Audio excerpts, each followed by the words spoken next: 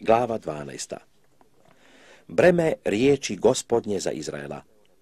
Govori gospod koji je razapeo nebesa i osnovao zemlju i stvorio čovjeku duh koji je u njemu. Evo ja ću učiniti Jeruzalem čašom za opijanje svim narodima u naokolo, koji će opsjesti Jeruzalem ratujući na judu.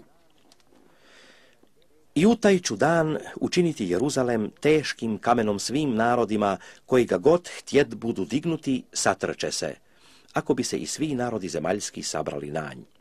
U taj ću dan, govori gospod, učiniti da svi konji budu plašljivi i svi konjanici bezumni. I otvorit ću oči svoje na dom judin i oslijepit ću sve konje narodima. Te će govoriti glavari judini u srcu svom, Jaki su mi stanovnici Jeruzalemski gospodom nad vojskama, Bogom svojim.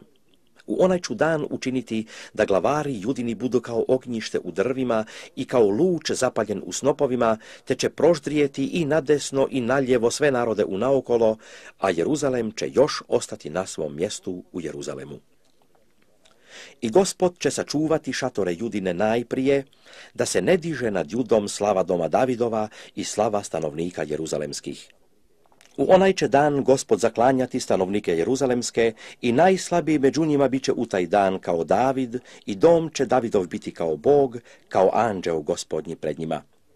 I u taj dan tražit ću da istrijebim sve narode koji dođu na Jeruzalem i isliču na dom Davidov i na stanovnike Jeruzalemske duh milosti i molitava i pogledat će na mene kojega probodoše i plakaće za njim kao za jedincem i tužit će za njim kao za prvencem.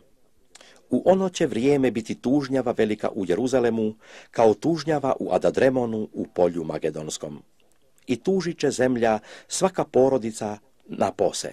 Porodica doma Davidova na pose i žene njihove napose. Porodica doma Natanova napose i žene njihove napose. Porodica doma Levijava napose i žene njihove napose. Porodica Semejeva napose i žene njihove napose sve ostale porodice, svaka napose i žene njihove napose.